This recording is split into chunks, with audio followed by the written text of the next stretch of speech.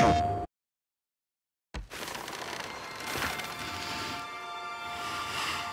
there do I see my mother. Oh, there do I see my father. Oh, there do they call to me. Oh, there do they call to me. Oh, there do they call to me. That bow's a little big for you, isn't it? My mother made it for me. Said I'd grow into it.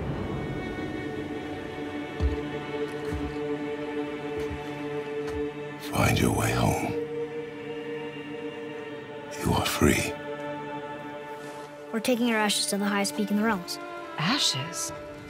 It was our last wish. Where must we go? To a realm beyond your own.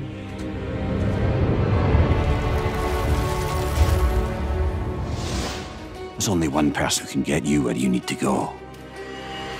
They call me Mimir, smartest man alive. First, you need to cut off my head.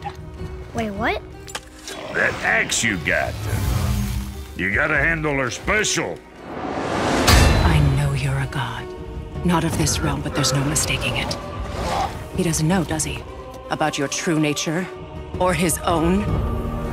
The longer you wait, the more damage you do. He will resent you, and you may lose him forever. You're next! I'll rip your head off! There are consequences to killing a god! Why? How do you know? How do you know? Power, of this weapon, any weapon, comes from here. But only when tempered by this. By discipline. The self-control of the one who wields it. Open the door! We need your help! This is no ordinary illness. The boy's true nature, your true nature, fights within him. So I'm a man now. Like you? No. We are not men. We are more than that. The responsibility is far greater.